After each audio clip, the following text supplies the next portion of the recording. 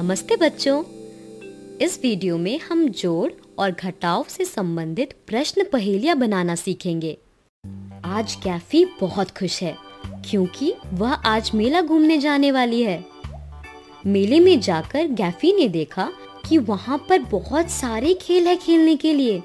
गैफी सबसे पहले एक जादुई खेल खेलने के लिए गई। उस जादुई खेल में चिट्ठी में लिखी पहेली को हल करना था। पहेली हल करते ही जीतने वाले को एक इनाम भी मिलता था। गैफी को एक चिट्ठी मिली, जिसमें एक चित्र बना हुआ है। उस चित्र के नीचे एक खाली जगह भी दी गई है। गैफी को उस चित्र को देखकर, उस खाली जगह में चित्र से जुड़ी एक प्रश्न पहेली को लिखना है। चिट्ठी में पहला चित्र ये है, यहाँ एक डिब्बे में पंद्रह टॉफी हैं और दूसरे डिब्बे में छब्बीस। गैफी सोचने लगी कुछ देर सोचने के बाद उसने उस खाली जगह में लिखना शुरू किया।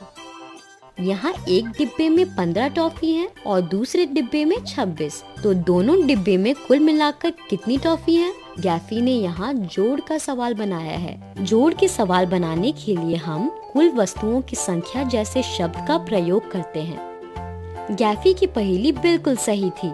सही पहेली लिखने पर उसे पंद्रह टॉफी और छब्बीस टॉफी वाले दो डिब्बे इनाम में मिले। टॉफी के डिब्बे मिलने पर गैफी बहुत खुश हो गई। बच्चों, क्या आप इस पहेली से कोई और प्रश्न पहेली बना सकते हैं? शाबाश! यहाँ एक डिब्बे में पंद्रह टॉफी हैं और दूसरे डिब्बे में छब्बीस। एक डिब्बे में दूसरे डिब्बे से कितनी ज़्यादा टॉफी है? हम इस तरह इस पहेली से घटाव का प्रश्न बना सकते हैं।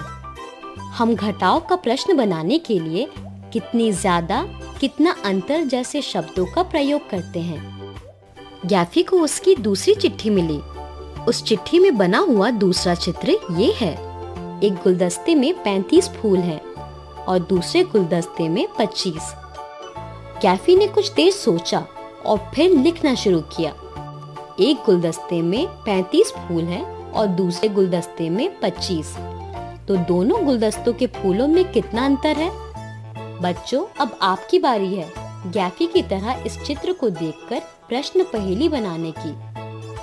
सोनू के पास 20 कंचे हैं और राम के पास 16 कंचे हैं। इस पहेली से प्रश्न पहेली बनाकर अपने दोस्तों और परिवार के साथ साझा करें। बच्चों, इस वीडियो में हमने जोड़ और घटाव से संबंधित प्रश्न पहेलियाँ बनाना सीखा।